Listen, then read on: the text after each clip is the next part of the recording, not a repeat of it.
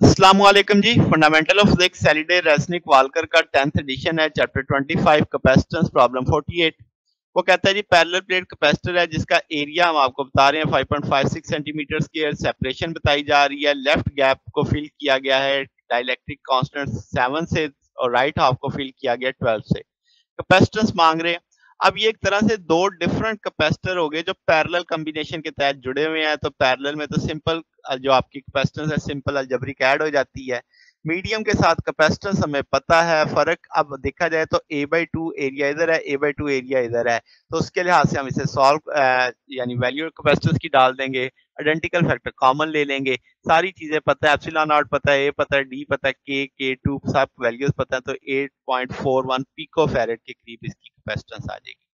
तो ये जनाब हमारे पास सोल्यूशन है। अगर आपको इसमें कोई बात पूछनी हो डाउट हो, नीचे कमेंट्स में पूछ सकते हैं वीडियो अच्छी लगी हो तो वीडियो को लाइक कीजिएगा, दोस्तों के साथ शेयर कीजिएगा चैनल को सब्सक्राइब कर दीजिएगा। अब तक के लिए इतना ही, बकिया इंशाल्लाह नेक्स्ट देखेंगे ओके अल्लाह हाफिज़।